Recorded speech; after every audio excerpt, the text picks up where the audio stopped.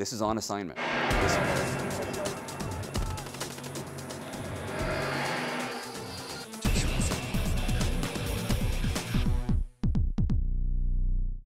Hello, everyone. Thanks for joining us as we bring you the backstories from our reporters here at the Voice of America. I'm Alex Villarreal. And I'm Imran Siddiqui. Mass protests erupt again in Egypt. We'll talk to a correspondent in Cairo about what it's like to be on the ground.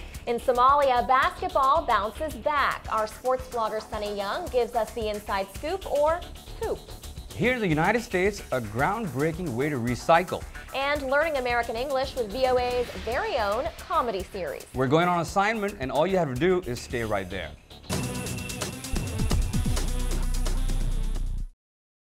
We go first to Cairo, where supporters of ousted President Mohamed Morsi are vowing to reinstate him. The Islamist leader has been out of office for weeks after the Egyptian military removed him from power on July 3rd.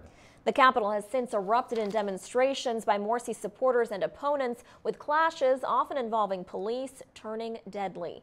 Sharon Bain has been in Egypt covering the events for VOA, along with producer Arash Arabasadi. I caught up with them recently to talk about their experiences. Let's first look at some of Sharon's reporting. I'm standing here outside the mosque, the Rabaa al-Adawiya Mosque, where all the members of the Muslim Brotherhood have gathered. They're angry that President Morsi has been ousted by the military, and they're saying that they will stay here and perform acts of civil disobedience until their leader has been restored to his post. On the other side of town, the protesters who are against Morsi and are in Tahrir Square vowing to do the opposite.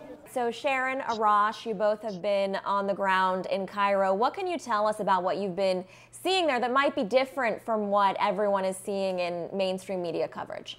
I think one of the things that struck us was the sort of the, like the business of revolution. When we were down in Tahrir Square, we saw people selling hats and T-shirts and flags and banners, and there were little carts selling food and drink.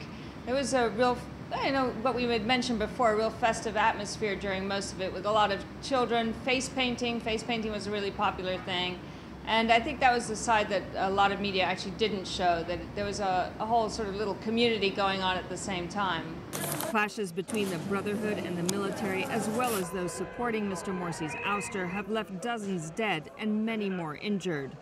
Reconciliation is only possible if Mr. Morsi is reinstated as president, says senior Brotherhood member Abdel Rahman El Bar. What is acceptable is that legitimacy is restored once again, and the legitimately elected president returns, and matters proceed once again according to the Constitution and Egyptian law. In this case, it is possible to consider reconciliation, and in this condition, it will be possible to move forward, and this is the logical solution to the crisis. Soldiers are still positioned around Cairo's most sensitive buildings. The military would be ready to return them to their barracks when security improves, says analyst and retired General Sameh Seif El-Yazal. It's their choice. It's a, the choice of Muslim Brotherhood now. If they want to join the new political forces in Egypt, or they want, even as, a, as an opposition group, no problem at all.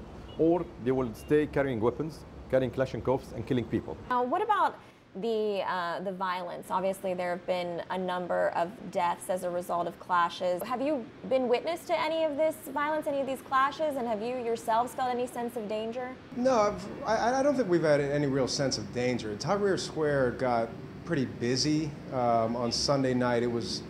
It was really, it was packed. I mean, it was, if you could imagine, like somebody just won a big game, a, big uh, World Cup game or something like that. It was a, it was a very packed atmosphere. Um, no, but I, we haven't actually seen the violence. We've seen the follow-up to the violence. We've seen the next day. We've been to, uh, for example, the field hospital in Nasser City where, uh, where they brought their wounded. They, they brought their injured from the night before. But we, we haven't seen anything with our own eyes. And yeah, that's, I guess, kind of been frustrating. It's difficult to report on, on things when it's all really hearsay and, and after, after the fact. And so what we have done actually is we've, we've kept pretty close to each other and made sure that we don't lose contact with each other because there have been problems with journalists in the squares where they get separated and the women have been attacked. So we've been very careful to stay in touch with each other at all times, sort of um, make sure that the other person's okay, always keep an eye out for where everybody is. Tourist sector workers say the unrest on Egypt's streets and Morsi's Islamist rule almost destroyed the industry. Even upscale restaurant owners are suffering. The armada, a multiple deck cruise boat on the Nile, is practically empty. I wanted to ask both of you if you get a sense talking to, to these people who are just trying to man their businesses, you know, they're, they're vendors and, and they're out just trying to live their lives. Are you getting a sense of any kind of protest fatigue? Not everybody's protesting. I, I would say that if you are a protester and if, you, uh, if you've been out there for the past week or two, then no, you're probably not fatigued. You're probably uh, as energetic, as energized, if not more, than you were a week ago.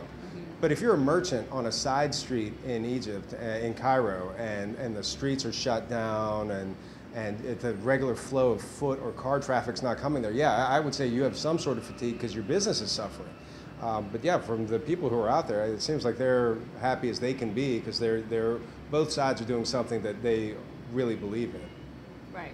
And I, and I would agree with that. There's a very intense ideology that's, that's uh, sort of Uh, at, at, the bottom of all these protests. But yeah, when we've talked to merchants, they all they've said is we want law and order, we want peace, you know, we want our businesses to start back up again. All right, and our thanks to Sharon Bain and Arash Arabasadi in Cairo. Now, before the current turmoil in Egypt, tourism had been picking back up. In the first quarter of 2013, some 3 million tourists visited Egypt, a 15% rise from the same period last year. We're taking a break now. Coming up, Sunny Young joins us to talk basketball, but in Somalia. You're watching on assignment.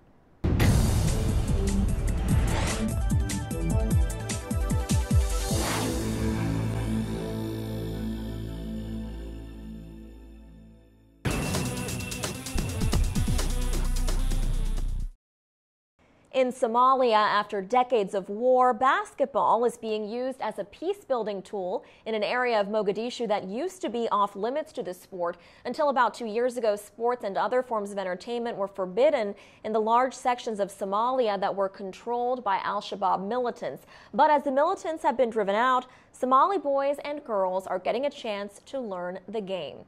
We are joined now by VOA's Sunny Young for more. Sunny, what does it mean for the country that basketball is now able to return in these areas? I think it's a huge step, Alex. Uh, as you mentioned, uh, they weren't able to play in these areas because of uh, conflict as well as uh, rules set by Al Shabaab.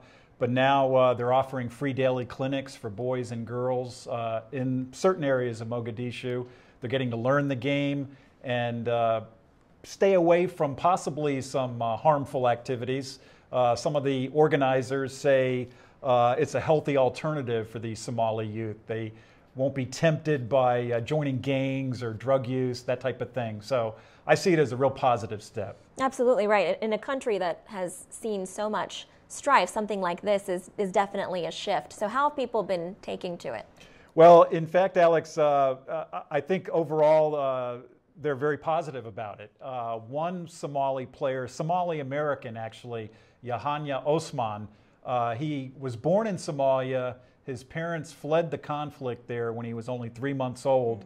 And he was educated here in the USA, played college basketball here in the USA. He has gone back to Somalia to teach the game.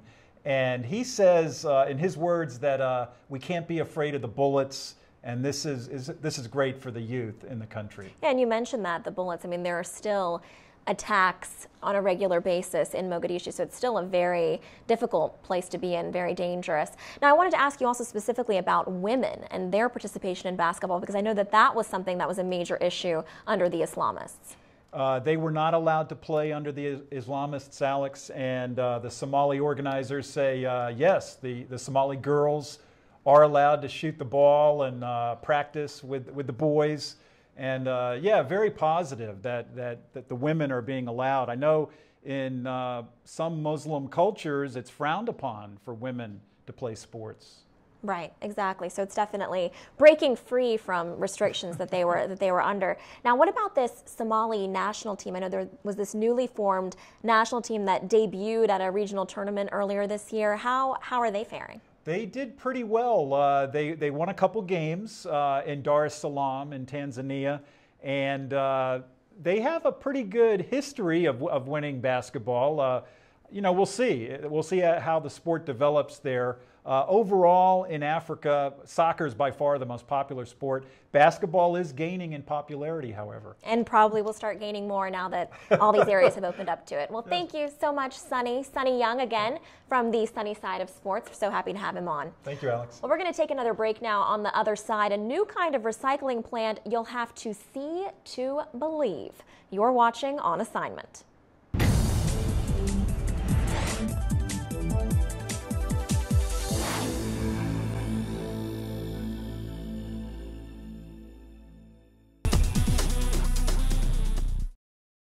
In the Midwestern U.S. state of Illinois, there's a new recycling initiative that its creator hopes will revolutionize biomass waste conversion. The company Chip Energy converts scrap wood into mulch, fuel, and other products, and it'll be doing all this in a facility that's made completely from recycled materials. On assignment's Martin Seacrest talked with VOA's Kane Farabaugh to find out how the whole idea got started. Let's take a look. It began uh, right after Hurricane Katrina. He was watching coverage of the disaster and looking at, especially during the flooding and all of the waste that's developed when uh, things are destroyed in the course of an event like that. He was looking at all of this wood waste, all of this biomass waste, and he asked himself, what's happening to all that waste? Where is it going? Well, it was going into landfills, it was going into dumps, and he, he was very aware that it didn't have to go there. It didn't have to do that. Outside rural Goodfield, Illinois, is a pile of wood that weighs 4.5 million kilograms. Some people call it garbage. Not Paul Weaver. I look at this as oil barrels stacked one on top of the other. It's a pile of energy. For several years, companies with industrial waste, like wooden crates, have used Weaver to cart the materials away. Weaver converts the wood into mulch, fuel, and other products that he can sell.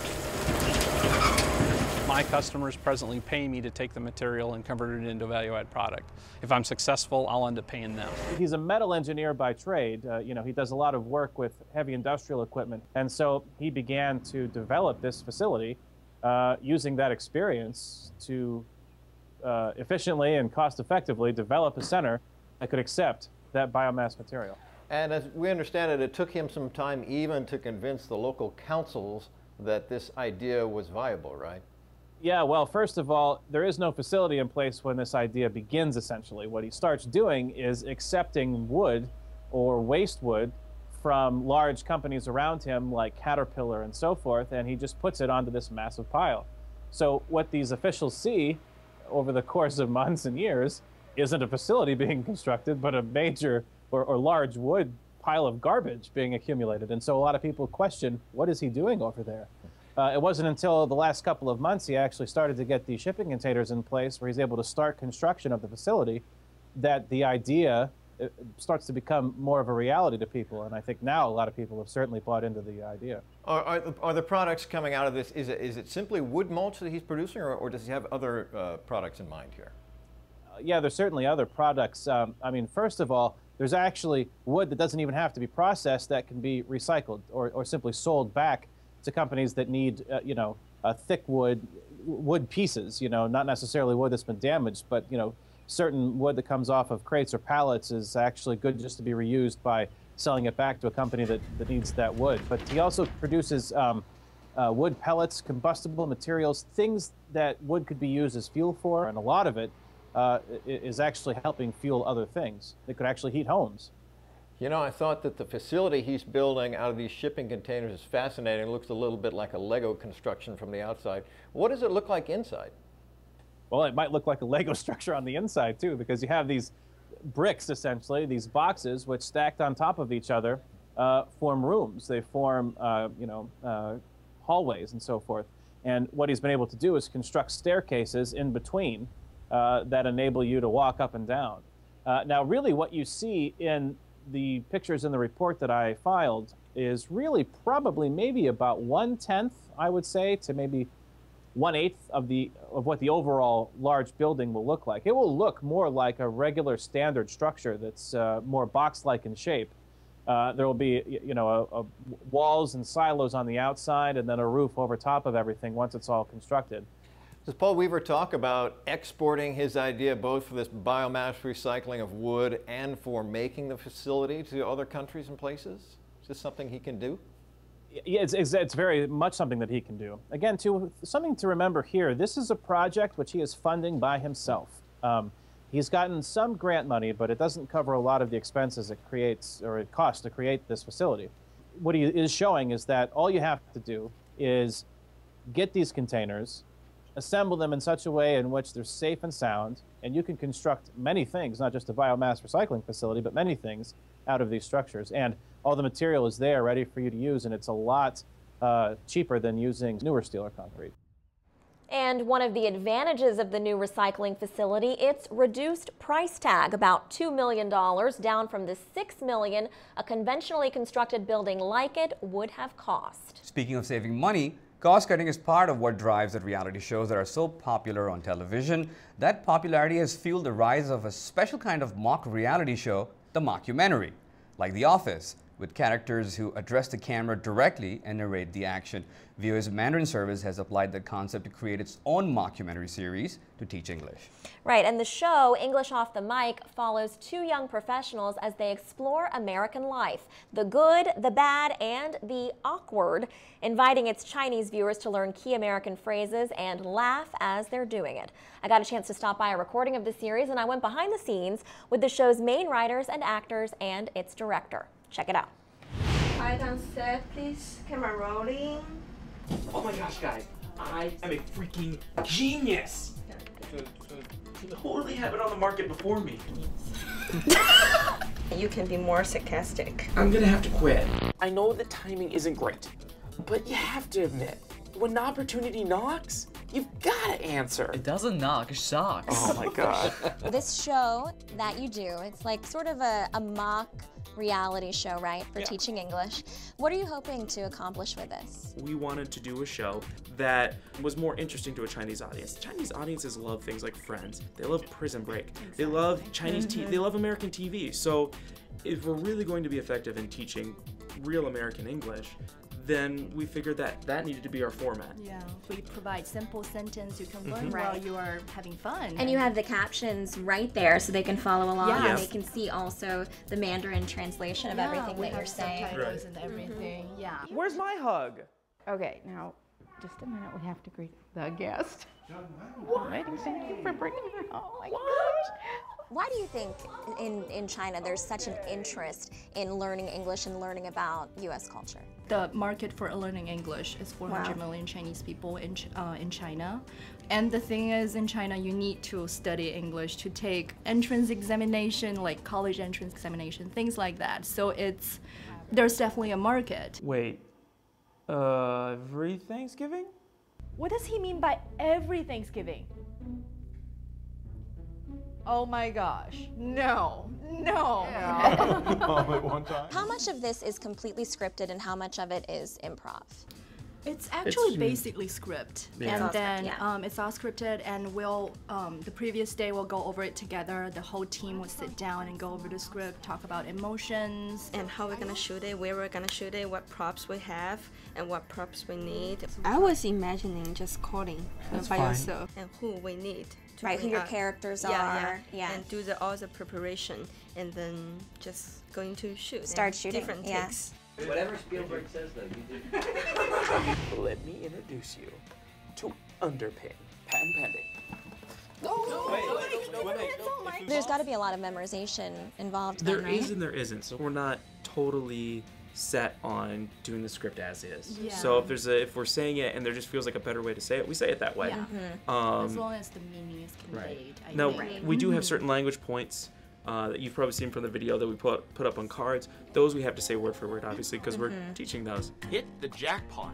中头彩也可以表示获得巨大成功。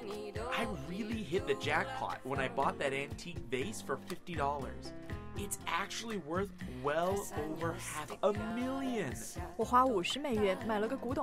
we are the main hosts of yeah. the show, and then we invite a lot of extras to help us, like mm -hmm. By invite, we mean by you know voluntold. Like, please come here. Yeah, forced. like we don't like to use force. Like, like back here, yeah. They're like, we have a lot to do. We're like, you're interns. Come with us. Yeah. yeah. How do you pick most of your topics? Uh, It's actually we have daily lives. We have Yeah. brainstorm meetings. Yeah. Um, our boss who's not here, and we're all sit together and just talk about our daily life, what happened to you this week. during the week someone will say like why don't you do a show about this and we're like we could do a show about that or just you know ideas that we may have had while we were just sitting around like it would be really funny if mike got himself into this situation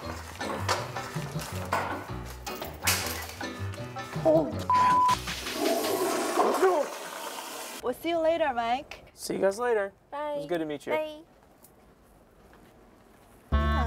In the Just Friends episode, there was a misunderstanding There on, was. on your part Yep.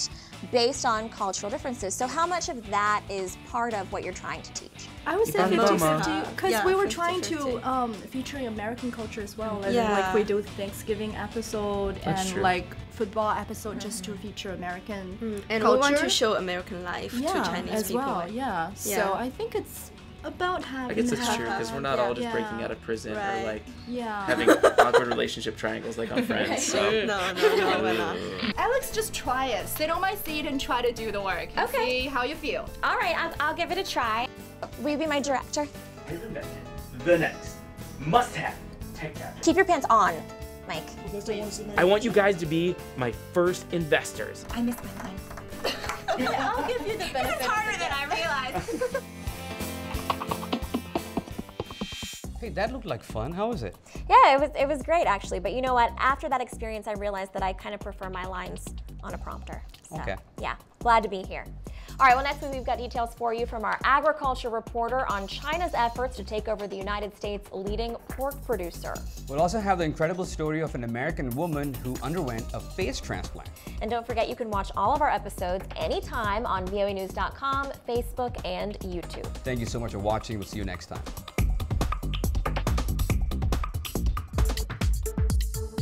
The situation is like this. I think On Assignment is an interesting project because it opens the door to the world about what's going on behind the scenes at VOA. Morning in the divided Syrian city of Aleppo. A note to all our fine VOA producers. We're going to find you. We're going to put you on the air. Well, there's two reasons. One is the Virginia Tech shooting was We try to coordinate as far in advance as we can, and we also try to follow the news cycle as much as we can. I'll do beta, you do one of the cameras, and I'll we do my the The thing to remember about a show like this is it's like making a wedding cake. And that means it's made in many layers.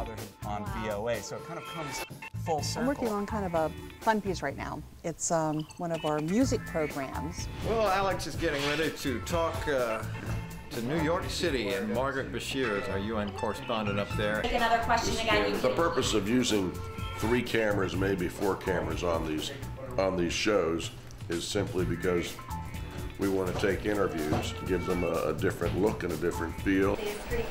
concerned that Russia and China may not support. I like video editing because it gives you a chance to be creative. You do whatever you're most comfortable with. Right now I'm building the rundown, so Martin has given me all the different segments we're producing. We're starting on camera three. Can I say Islamist extremist? General Musharraf visited VOA in January and talked about Pakistan's Okay, so all the pieces of the cake are basically baked. Now we just have to go down to the final video edit. Sunny side of sports. Just blog. Go and back we- to the um, Uh-huh. beginning. So I want to make sure we have the right. Vlad kind of fixes our mistakes in Let's the say- Avid Suite. Yeah, let's. Uh, I do my best. Wait a minute, they're not that bad. Come on. today. Yeah, who's gonna pay my bills while I'm spending all my time writing rhymes while everybody else is You do this.